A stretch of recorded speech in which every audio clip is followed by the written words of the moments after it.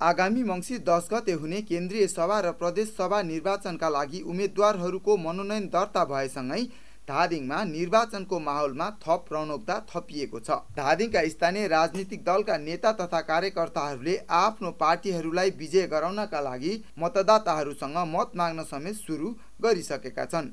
स्थानीय जनताहरू अब प्रादेशिक र केन्द्रीय सभा निर्वाचनपछि देशमा स्थायी शान्ति भई विकासले गति लिने भन्दै खुसी समेत भएका छन्। तालमेल अहिले जुन तपाईँको राजनीतिमा गरिरहेको छ त्यो वास्तविक यिनीहरूले देशको लागि सोचेरै गरेको हो भने एकदम राम्रो हो।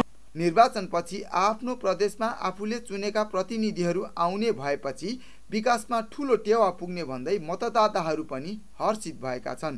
यसै गरी अब हुने प्रदेश सभा र प्रतिनिधि सभा निर्वाचनमा वामपन्थी विचारधारा भएका पार्टीहरू र प्रजातान्त्रिक विचारधारा बोकेका पार्टीहरू बीच एकता भएसँगै पार्टीका कार्यकर्ताहरू बीच झनै उत्साह थपिएको छ। दुईवटा प्रतिनिधि सभा निर्वाचन क्षेत्र र चारवटा प्रदेश सभा निर्वाचन क्षेत्र रहेको धादिङ जिल्लामा प्रजातान्त्रिक विचारधारा र वामपन्थी विचारधारा भएका पार्टीहरू एक भएसँगै चार ठुला राजनीतिक दलहरूको बाह्रजना उम्मेद्वार र अन्य साना पार्टीहरू गरी उनासाठीजना उम्मेद्वारहरूले केन्द्रीय सभा र प्रदेश सभा निर्वाचनका लागि उम्मेदवारी दिएका छन्। शिव सिलवाल नेपाल टेलिभिजन धादिङ।